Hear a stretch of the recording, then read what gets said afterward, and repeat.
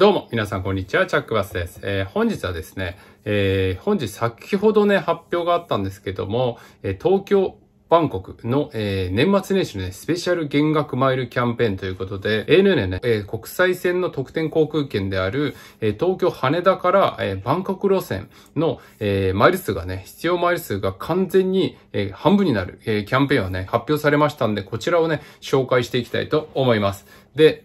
まあ、言った通りね、え東京羽田空港から、えー、バンコクまでということで、えー便名がね、えー、NH1947、えー、羽田発が午前の2時半。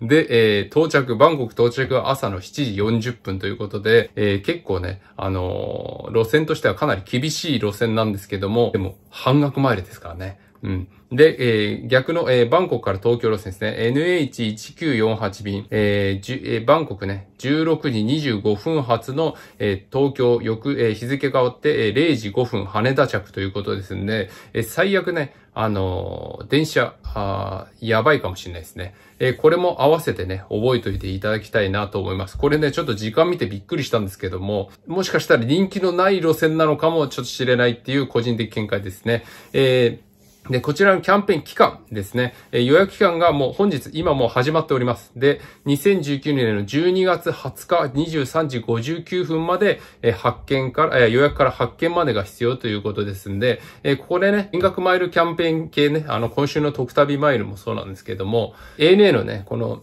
減額マイル系のキャンペーンは基本的に予約から発見まで、すべてをね、インターネット上で決済しないと、えー対象になりませんので、え今回のこのキャンペーンも、えー、予約から発見までね、すべてインターネット上で、えー、ウェブサイトか ANA のアプリでね、えー、完了させる必要があります。で、え、もしね、デスクで電話して予約したらですね、あの、こちらも毎回言ってるんですけども、通常のマイルが取られてしまいますんで、えその点ね、注意していただきたいなと思います。で、本来ね、えー、エコノミークラスが、えー、年末年始なんで基本的にハイシーズンなんですよね。で、えー、3000、3万8000マイル、えー、エコノミークラスで往復が必要なところ、もう完全に半分ですね。1万9000マイルで往復できます。で、ビジネスクラスですね。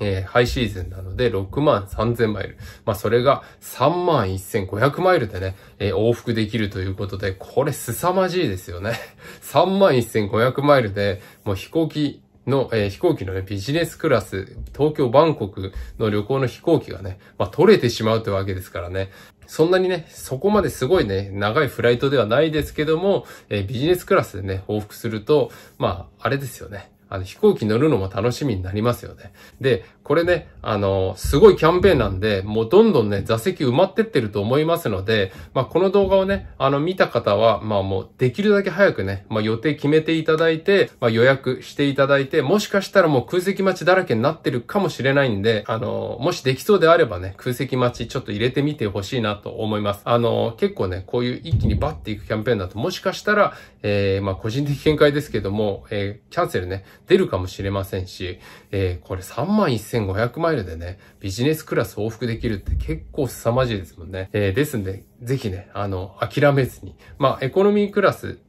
で、まあ言ってもね、1万9000マイルで、えー、往復できますからね、この年末年始のシーズンに。すごいですよね。ちょっとね、今回の動画は、えー、短くなってしまったんですけども、東京バンコク路線の年末年始スペシャル減額ハーフマイルキャンペーンですね、えー、紹介させていただきました。このキャンペーンがですね、ANA のトップページっていうんですか ?ANA のウェブサイトから、えー、見つかんなくてですね、これどうやっていくかわかんないんですけども、えー、普通に Google でね、あの、東京バンコク、ANA 東京バンコク、ね、あの、ハーフマイルキャンペーンみたいな感じで、えー、Google で検索するとこのページ出てきますんで、もし詳細見たいという方はね、あの、動画の概要欄にね、URL 貼っておきますんで、あの、ぜひね、予定が合いそうな方はね、狙ってみてほしい、えー、この減額マイルハーフキャンペーンですね。先日、えっ、ー、と、成田、チェンナイだったかな？っていう路線がね、減額マイルャンペーン出ましたけども、まあ、それと同じですよね。しかも今回この空、対象空港は羽田空港ですからね。まあ、ちょっとね、行き帰りかなりね、あのー、厳しい時間帯ではあるんですけども、でもやっぱりね、あのービジネスクラスに3万マイルで乗れるのであれば、ぜひ狙っていただきたいと思いますんで、えー、ちょっとね、取り急ぎ、えー、動画を撮らせていただきました。今回はバタバタですいませんけども、こんな感じで動画終わりたいと思います。えー、それではね、また次の動画でお会いいたしましょう。もしよかったらぜひ、え高評価、チャンネル登録ぜひお願いいたします。それではまた次の動画でお会いいたしましょう。バイバイ。